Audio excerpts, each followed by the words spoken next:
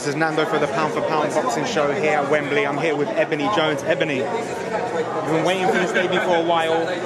Boxxer, Sky Sports, it doesn't get better than that, does it? No, I'm so excited. How have you prepared for this fight? Obviously, Beck Connolly, is that still your opponent right now? No, coach changed. Uh, I found actually pulled out about two, three weeks ago. Got uh, Lithuania. Now, Do you, do you know much about her? no, so she's ranked 45. Um, not really, to be honest. No, I know enough. Like. How do you prepare for a fight like that? Because obviously your focus was on Beck Connolly. We know what Beck can do. She can come forward.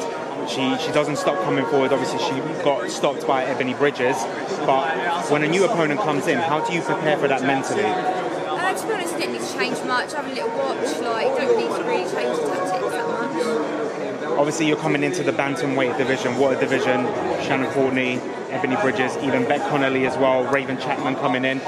How much are you looking forward to getting into that mix? I'm actually uh, first featherweight. Uh, have see how it goes. Aim then to go to uh, super bantam or just wherever the fights are. To be honest, move up and down. That'd be brilliant because you're featherweight. If you go to super featherweight, you've got the likes of next week Louise Alton making her debut.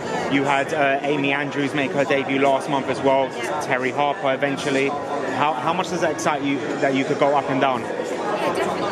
Like the Amy Andrews fighter, Raven Chapman. So you've got them, all them sorts of girls to be fighting as well as as well as the others. Brilliant. And um, do you feel honoured that you're in an era where women's boxing is so big right now that you can have a women's main event, you can have a co-main event, the likes of Katie Taylor that's put that on the map for young fighters like yourself.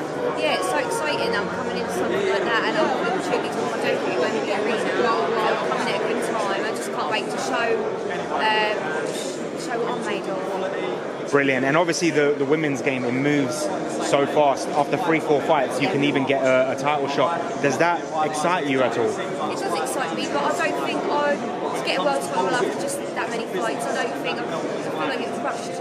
Once you win a world title, that's it. Like you go from there. You know what I mean? So I've got no rush. Just want to be active, got enough time, just enjoying it. Is there, if there's any young females looking, watching this, watching you on TV, think I want to be the next Ebonie Jones, what advice would you give them if they're, because you know, you have that, that fear of going into the gym and starting, what, what um, advice would you give them? Uh, you just got to train hard. I've always trained hard. Um, it hasn't been the easiest to like get to where I am now, but that's just sort of worked hard. Brilliant. And for the fans that are going to be travelling down to see you on Saturday and tuning in, what message do you have for them? I'm just so thankful, really. Friends and family, tickets, only tickets back to the hotel, stay the night, and yeah, I just um, feel so great.